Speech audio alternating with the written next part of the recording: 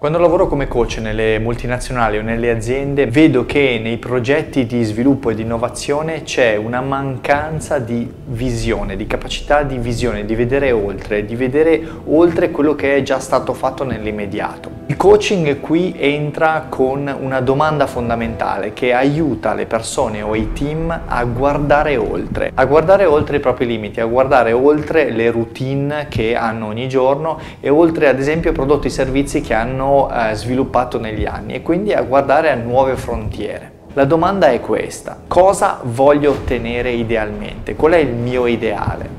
Cosa voglio raggiungere in particolare? Il voglio è una parola che spesso noi non utilizziamo, sembra quasi che il voglio sia relegato a quando eravamo bambini. In realtà il voglio è una domanda fondamentale, una parola fondamentale perché ci fa vedere la direzione che vogliamo prendere e quindi aumenta tantissimo le, la qualità delle decisioni che dobbiamo prendere e ci aiuta a scegliere in modo molto più efficace qual è la strada da prendere anche se quella strada magari è più difficile, ma sicuramente molto più di qualità. Per cui quando vogliamo raggiungere un nuovo obiettivo, quando vogliamo eh, innovare ad esempio dei prodotti, quando vogliamo raggiungere qualcosa di più ambizioso, chiediamoci cosa voglio raggiungere.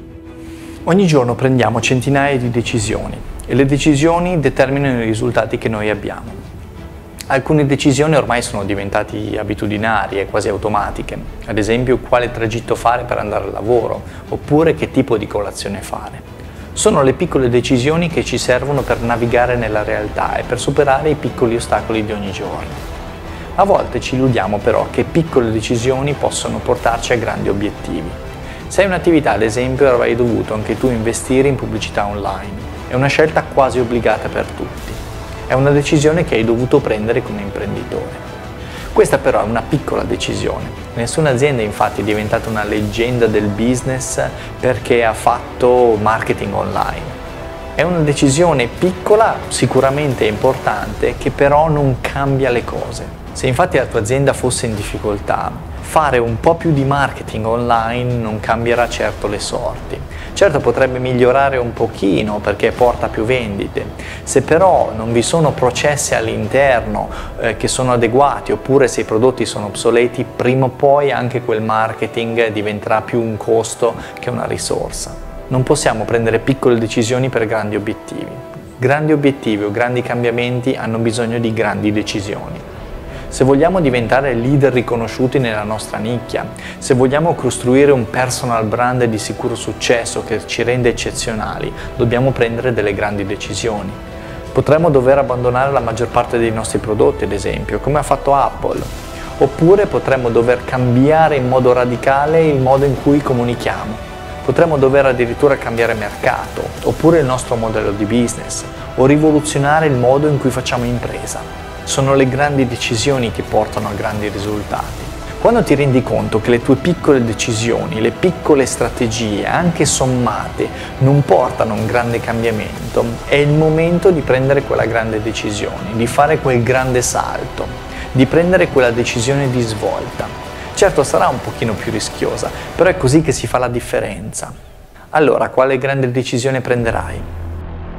La mia società è specializzata nella facilitazione del business development nelle aziende e vediamo che uno dei problemi principali nei nostri interventi di business development è l'attuazione dei piani definiti con l'azienda. Lavoriamo con i loro team per definire nuove innovazioni, innovazioni di processo, innovazioni di prodotto o di servizio oppure cambiamenti nelle organizzazioni. In questo tipo di progetti vediamo che non c'è scarsità di idee, anzi l'imprenditore o il manager hanno già tantissime idee e già tantissimi progetti nella pipeline e quindi bisogna solo scegliere e costruire un progetto che sia interessante e redditizio per l'azienda. Il problema è proprio l'attuazione o l'execution come dicono gli americani, il portare avanti dei progetti fino in fondo quando bisogna anche curare l'operatività giornaliera. Spesso invece diventiamo schiavi della nostra agenda, schiavi dell'operatività giornaliera, delle riunioni, delle urgenze. Per diventare maestri nell'execution, nel portare a termine un progetto, è importante seguire queste tre fasi. Prima di tutto definire un piano d'azione ben specifico. Una volta che abbiamo deciso cosa dobbiamo fare, dobbiamo anche decidere come farlo in dettaglio con chi farlo o chi lo farà, dove farlo e quando farlo. In questo modo ce lo scriviamo nell'agenda. Dobbiamo prenderci un appuntamento per quel progetto. Se non è scritto in agenda non esiste. Non dirti lo farò quando avrò tempo perché non ne avrai mai. Prima di procedere poi bisogna chiedersi quali sono gli ostacoli, cercare di eliminare più ostacoli possibili. Quando pianifichiamo non siamo nella realtà, non stiamo agendo e quindi minimizziamo i potenziali ostacoli. Vai ad aumentare la motivazione al massimo come può essere più motivante il progetto, che incentivi devi dare a te stesso e agli altri, come devi strutturarlo, in che modo può essere così motivante che non potrai far altro che portarlo a termine.